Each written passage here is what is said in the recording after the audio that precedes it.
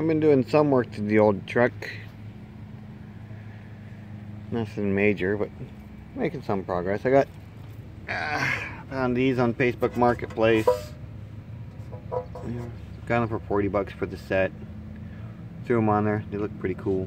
I like them. They came off a 66, I guess. But whatever. I like them. I think they look cool. Got the uh, touched up my skulls. Got them cleaned up, looking pretty cool.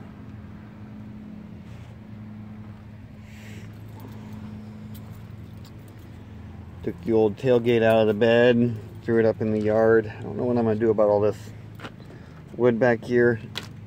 It seems to be fairly solid. Not, not as bad as some I've seen.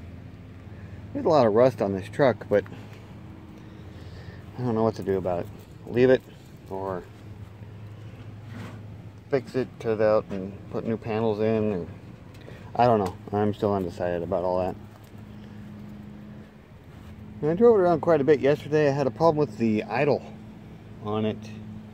The idle had dropped way too low for some reason as I was cruising around. So I popped ah, popped the um, air cleaner assembly off and adjusted the idle up a little bit. And then today I was out cruising around a little bit and it was fine. And then now the idle is way too high. So there's got to be some kind of a happy medium in there that I am just not seeing, that I'm missing somewhere. But uh, I guess it's just a matter of figuring out where it is and keep making my little adjustments and getting it all figured out.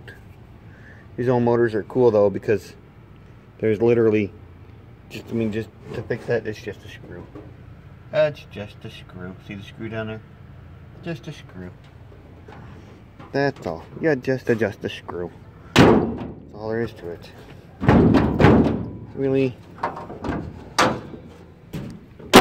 Thank you, Chevy. Well, we got uh, got our safety inspection done. We got plates on it now. We're all fully legal. Everything's good to go. Been having fun with it. That's the um, that's the horn. Just in case nobody, you know, just in case you didn't know, that's what that is. That's for the horn. That's why it says horn. Um, yeah. So that's where we stand on the uh, on the Space Lord. I've got a uh, my niece is making me a sticker. It's gonna go up here above the rear window. Here. And it's a white vinyl sticker with all fancy lettering and it says Space Lord across it. So that'd be pretty cool. Looks like we might have a couple storms coming today. Maybe. The old house has seen better days.